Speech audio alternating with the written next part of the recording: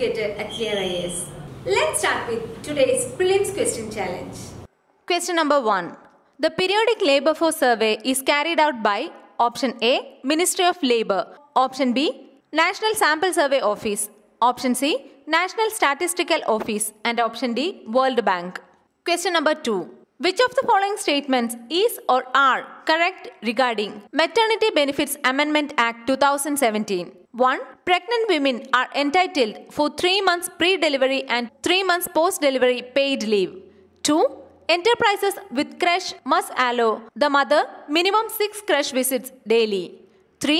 Women with 2 children get reduced entitlements. Select the correct answer using the codes given below. Option A 1 and 2 only. Option B 2 only. C 3 only. And D 1, 2 and 3. Question number 3. Labor force participation rate is the percentage of persons in labor force which includes Option A working people. Option B those seeking work. C those available for work. And option D all the above. Comment your answers in the comment box. Now it's time for today's mains question challenge. Question number 1. India's labor force participation rate is much low and is declining. What are various reasons for low labor force participation of women in India? Suggest some measures to correct the labor market's gender skew. Question 2. The inability for women to participate in the labor force is the outcome of various economic and social factors that interact in a complex fashion. Examine. Question number 3. Since the women's economic engagement is related to her own and her family's well being, the continuing decline in women's labor force participation is a cause for concern. Discuss. Also, enumerate various measures by the government to improve the women's labor force participation rate. Today's questions are related to the female labor force participation in India. This topic comes under General Studies 1, 2, and 3 of the UPSC main syllabus. It may come under General Studies 1, under it, Role of Women and Women's Organizations, Population and Associated Issues, Poverty and Developmental Issues, Urbanization, Their Problems and Remedies. It may come under Paper 3 of the UPSC main syllabus, that is General Studies 2, under it, Issues related to Women. It also comes under paper 4, that is General Studies 3, under it Indian economy and related issues. This topic is quite important since women related issues are among the favorite areas of UPSC. So, let's discuss this topic in detail now under the heads. The definition of labor force participation rate, significance of labor force participation rate, statistics of female labor force participation in India, causes or factors behind low female labor force participation rate, need of increasing women's labor force participation, measures required to increase women's labor force participation, government's initiatives, and conclusion. First of all, let's know what is the meaning of labor force participation rate. Labor force participation rate is defined as the section of working population in the age group of 16 to 64 in the economy currently employed, seeking employment, or available for employment. People who are still undergoing studies, housewives, and persons above the age of 64 are not reckoned in the labor force. Next is significance of labor force participation rate. It is a measure to evaluate working age population in an economy. This is an important metric when the economy is not growing or is in the face of recession. During recession, the labor force participation rate generally goes down because of low economic activity, which causes fewer jobs across the country. The labor force participation rate is also important in understanding the unemployment rate in the economy. Consistent analysis of the unemployment rate in the economy is very important. If labor force participation rate is on the higher side, it's a good sign. But if it's on the lower side, it can act as a warning sign for the economy. Now let's know the current statistics of female labor force participation rate in India. According to International Labour Organization's report of 2019, 1.3 billion women were in work in 2018 as compared to 2 billion men, a less than 2% improvement in last 27 years. This report highlighted that women are paid 20% lower than men as a global average. Women remain underrepresented at the top, a situation that has changed very little in the last 30 years. The female labor force participation rate in India has been one of the lowest in the world. As per data from World Bank, the female labor force participation rate in India fell from around 31% in 2011 to 12 to close to 21% in 2019. This decline has been sharp in rural areas. Less than a third of women are working or actively looking for a job. The female labor force participation rate in India had fallen to 20.3% in 2019 from more than 26% in 2005. Female labor force participation rate in India fell to 15.5 in 2020 when India imposed strict lockdown to curb the spread of COVID-19. Most employed women in India are in low skilled work such as farm and factory labor and domestic help, sectors that have been hit hard by the pandemic. The unemployment rate among women had touched 15.8% compared with 12.6% among men workers in the second quarter of 2020. At 21%, India has one of the lowest female labor participation rates in the world. In other words, 79% of Indian women aged 16 years and above do not even seek work. Countries like China, US, Indonesia, and even Bangladesh have two to three times higher participation rates for women. India's 21% female labor force participation rate is not even half of the global average, which is 47%. Now let's see different factors behind low or declining female labor force participation rate. 1.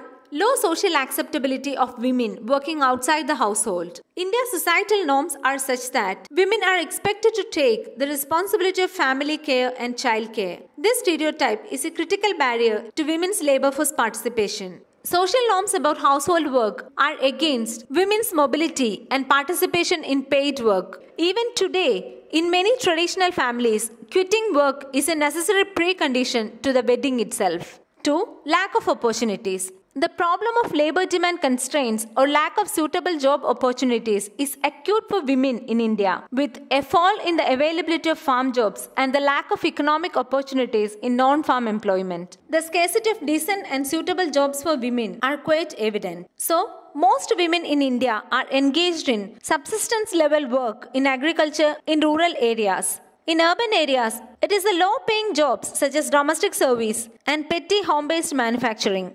3. Lack of access to safe and secure workspace.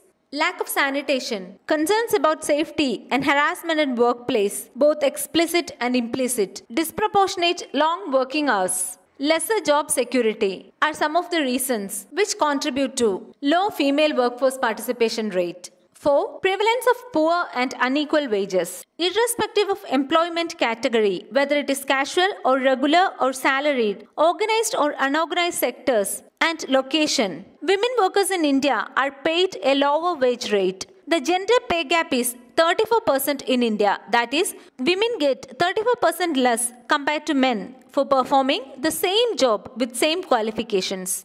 In the organized sector, women professionals, even in the highest ranks of labor, such as legislators, senior officials, and managers, are also paid less compared to their male counterparts. However, these women constitute only 1% of the total female workforce, and the gap is lowest as they are aware of their rights. The wage difference is lesser for more skilled workers and more for semi skilled or unskilled workers. Across enterprise type, wage difference is less for government or public sector. Large pay gaps in terms of average daily wages exist in male and female wage rates of casual and regular workers in rural and urban areas, and the gap is narrower for regular workers in urban areas. On the other hand, for casual workers, the wage gap is narrower in rural areas. 5. Women education. There is a negative relationship between women education and labor force participation rate. Data from the National Sample Survey Office show that education and employment have a U-shaped relationship. That is, a rise and subsequent decline in employment with the rise in education levels. Work participation drops sharply for women with primary and secondary education and rises only with college level education. With better education, women are refusing to do casual wage labor or work work in family farms and enterprises. Educated women prefer salaried jobs, but such jobs remain extremely limited for women. For example, among people of 25 to 59 years working as farmers, farm laborers, and service workers, nearly a third are women. On the other hand, proportion of women among salaried jobs such as professionals and managers is only about 15%. 6. Unpaid work. The time spent on unpaid economic activities, especially on unpaid care and domestic core, has hindered women's participation in the labor force. Childbirth and taking care for children and elderly parents make women drop off the employment pipeline. 7. Digital divide. In India, in 2019, internet users were 67% men and 33% women, and this gap is even bigger in rural areas. This has become a barrier for women to access critical education, health, and financial services or to achieve success in activities or sectors that are becoming more digitized. 8. Technological disruption. Women hold most of the administrative and data processing roles that artificial intelligence and other technologies threaten to usurp. This will lead to loss of jobs for women. 9. Gender bias. Constraints in the form of casteist and patriarchal notions of purity and pollution prohibit women from certain jobs, especially in the food processing, sericulture, and garment industries. 10. Impact of COVID 19. Owing to COVID 19, global women employment is 19% more at risk than men employment, as per ILO estimates. Loss of jobs in the informal sector caused by the pandemic likely to have pushed many women out of work. In the World Economic Forum's Global Gender Gap Index, India slipped to 112th place simply because over 70 lakh Indian women have dropped out of work. 11 improvement in family income. With increase in family income, women leave the work to take care of the family. The major pull down is among the rural women as per the reports of the central government. By withdrawing women from labor force, men or the family can avoid the stigma of laboring women. 12. Maternity and childcare. Many women are unable to rejoin the workforce after having a child due to her childcare responsibilities and lack of creche. The landmark legislation, which entitles a woman to 26 weeks of paid maternity leave, has become a big hurdle because this increased the cost for companies and so it discourages them from hiring women. 13. Structural transformation of Indian agriculture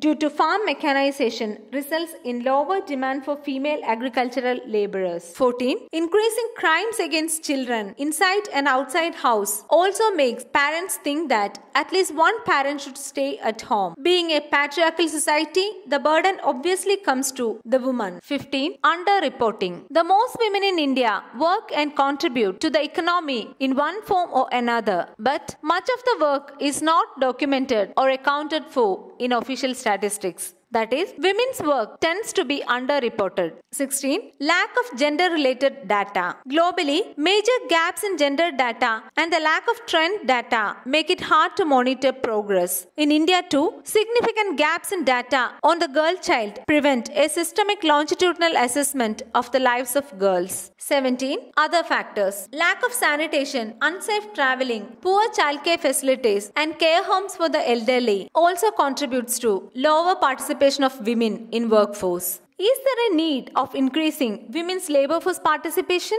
Yes, of course. Let's discuss the needs or advantages of increasing women's labor force participation rate. The World Bank says that no country can develop and achieve its full potential if half of its population is locked in non remunerative, less productive, and non economic activities. World Economic Forum's Global Gender Gap Report estimates that raising women's participation in the labor force can increase India's GDP significantly. It contributes to women empowerment. The declining women's labor force participation, gender pay gap, high rates of informal work with lack of social security are seen as impediments to the goal of gender equality and women empowerment in India. Empowering women in the economy and closing gender gaps in the world of work are key key to achieving the 2030 Agenda for Sustainable Development and achieving the UN Sustainable Development Goals.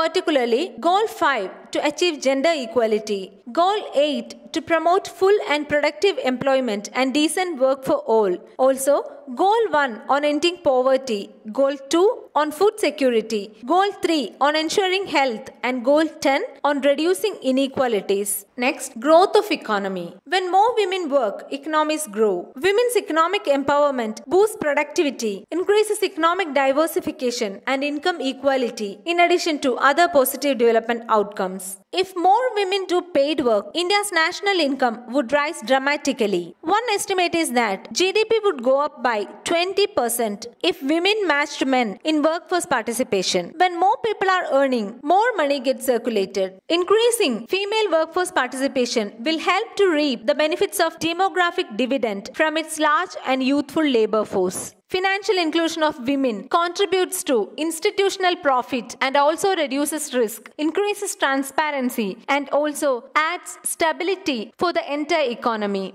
It will enhance women's control over household decision making. Women's economic empowerment to be the best available weapon against poverty. Economically autonomous women can walk away from abuse. Gender equality reduces violence of all kinds. Next is measures required to increase female labor force participation rate. 1. Facilitates women's access to decent work by providing public services. Public services should be made gender responsive, such as free and accessible toilets, household water connections, safe and secure public transport, adequate lighting and CCTV cameras in public spaces, efficient law and order mechanism. 2. Ensure equal and decent wages. Fair and decent living wages and social security, such as maternity and sickness benefits, provident fund, pension, etc., should be ensured. Ensure women's equal rights and entitlements over land and access to inputs, credits, markets, and extension services. Fiscal incentives. Women have a higher elasticity of labor supply than men. Lower income taxes for women can incentivize their participation. Childcare subsidies should be provided to free up mothers' time to enter the labor force, which would have significant implications in increasing female employment. Childcare subsidies can also have positive spillover effects on the education of young girls, for they no longer have to be left behind to take care of their younger siblings. Encouraging women entrepreneurship. This will provide a long term solution as it creates many job opportunities. By creating jobs, fueling innovation, and furthering investment in health and education, entrepreneurship among women could transform India's economy and society. Bridging the digital divide. Partnerships between the public and private sectors will be most effective to address this. Next is political empowerment of women. For improving conditions of women, their representation in parliament and in decision making roles in public spheres is a must. Creating more flexible work choices such as family friendly policies, work from home, paid maternity leave, which makes seamless work life integration possible for women, can improve women labor force participation. Next is skill development. Training and mentoring programs improve the employability of women. Government policies should focus on behavioral changes that make female employment more acceptable in the society. Childcare should be acknowledged as the responsibility of both the parents. Next is prioritizing gender statistics. A UN Women initiative called Making Every Woman and Girl Count was launched in 2016 to help prioritize gender data, ensure regular production of quality and comparable gender statistics, and ensure that data are accessible and used to inform policy. There is a need to incorporate such an initiative in India too. Lastly, address specific needs of migrant workers, Dalits, tribals, Muslims, and other marginalized communities. Now we'll be discussing different government initiatives in this regard. A new Ministry of Skill Development and Entrepreneurship has been established to coordinate the skill development schemes across various sectors. Government has also implemented the National Career Service Project, which comprises a digital portal that provides a nationwide online platform for job seekers and employers for job matching in a dynamic, efficient, and responsive manner and has a repository of career content. Enactment of the Maternity Benefit Amendment Act of 2017, which provides for enhancement in paid maternity leave from 12 weeks to 26 weeks, and provision of creche facility in establishments having 50 or more employees. Issue of advisory to the states under the Factories Act 1948 for permitting women workers in the night shifts with adequate safety measures. Further, in order to enhance the employability of women workers, the government is providing training to them through a network of women industrial training institutes, national vocational training institutes, and regional vocational training institutes. A number of protective provisions have been incorporated in various labor laws for creating congenial work environment for women workers.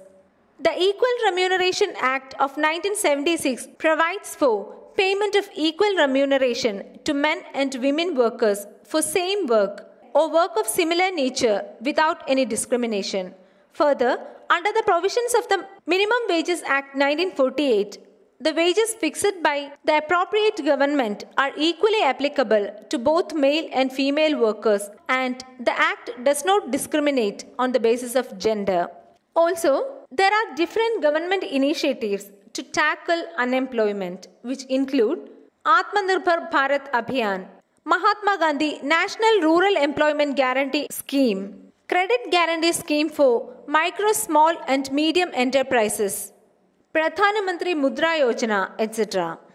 Coming to the conclusion, women need three C's confidence, capabilities, and access to capital. Men need to understand that women are their equals. Economic results are best when men and women work in gender balanced way, whether at work or at home. There is a need to address the structural issues to keep women entering and staying in the workforce. So that's about women labour force participation in India. We have discussed almost everything that you need to know about this topic. Now see the questions once again. Question number 1. The periodic labor force survey is carried out by option A Ministry of Labor, option B National Sample Survey Office, option C National Statistical Office and option D World Bank. Question number 2. Which of the following statements is or are correct regarding Maternity Benefits Amendment Act 2017? 1. Pregnant women are entitled for 3 months pre-delivery and 3 months post-delivery paid leave. 2. Enterprises with creche must allow the mother minimum 6 creche visits daily. 3. Women with 2 children get reduced entitlements. Select the correct answer using the codes given below. Option A 1 and 2 only. Option B 2 only. C 3 only. And D 1, 2 and 3. Question number 3. Labor force participation rate is the percentage of persons in labor force which includes Option A working people. Option B those seeking work. C those available for work. And option D all the above. Question number 1. India's labor force participation rate is much low and is declining. What are various reasons for low labor force participation of women in India? Suggest some measures to correct the labor market's gender skew. Question 2. The inability for women to participate in the labor force is the outcome of various economic and social factors that interact in a complex fashion. Examine. Question number 3. Since the women's economic engagement is related to her own and her family's well being, the continuing decline in women's labor force participation is a cause for concern. Discuss. Also, enumerate various measures by the government to improve the women's labor force participation rate. I hope everyone is now able to answer questions related to this topic. That's for today. See you with another set of questions from a new topic in the next video. If you like this video, subscribe our channel and support us. Thank you.